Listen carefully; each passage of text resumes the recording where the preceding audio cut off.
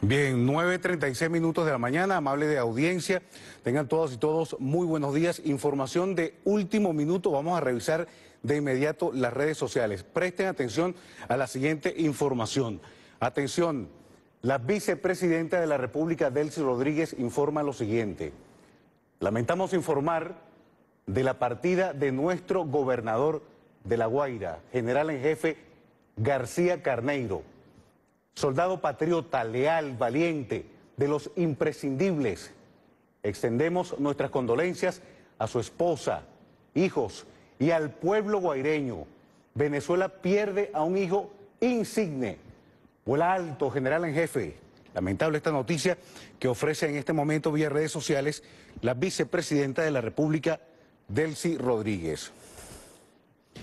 Seguidamente, el ministro de Comunicación e Información, Freddy Ñáñez, ofrece y difunde, replica esta información, esta lamentable noticia.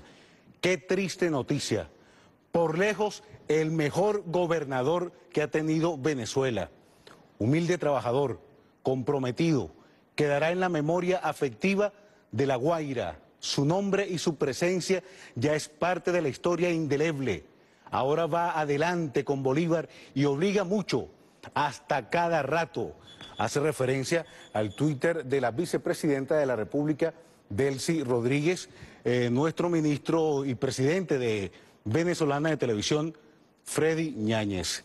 El almirante en jefe Remigio Ceballos, comandante operacional, nos dice, lamentamos profundamente la partida de nuestro noble y patriota general en jefe Jorge Luis García Carneiro digno ejemplo de lucha por la paz y el bienestar del pueblo. Paz a su alma y sentidas palabras de condolencias a sus familiares y al glorioso pueblo de La Guaira.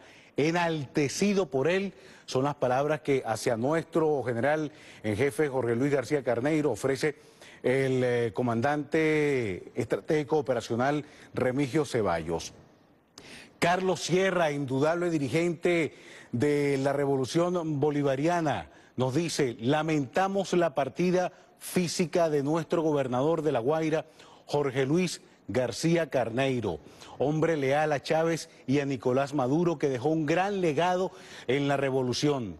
Carneiro vivirá eternamente en la historia de la patria. Fuerza y bendiciones al pueblo de La Guaira. Es la nota y el pésame, la palabra de condolencia que ofrece a esta hora nuestras autoridades y también se une poco a poco el pueblo venezolano. El gobernador Rafael Calles indica, Venezuela pierde un hijo. Se ha ido nuestro hermano general en jefe García Carneiro, gobernador del estado La Guaira, alma noble, patriota y luchador, incansable, fiel a nuestros ideales y al sueño de Bolívar. Nos duele tu partida, mi hermano y amigo.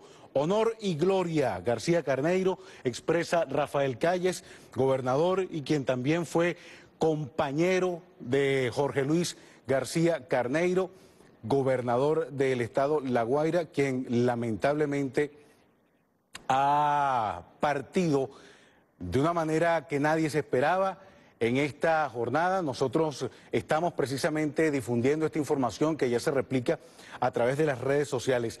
Nos hacemos eco de una de las frases que dijo el ministro de Comunicación e Información y presidente de Venezolana de Televisión, Freddy Ñáñez. De lejos, el mejor gobernador que ha tenido el país, sanamente lo decimos, pero excelente gobernador y dio un cambio radical al Estado de La Guaira y eso nadie lo puede negar. Eso es así. Gracias al trabajo político que ha hecho el gobernador Carneiro y nosotros los invitamos a continuar con eh, nuestra programación y por supuesto estar atentos de esta lamentable información. Buenos días.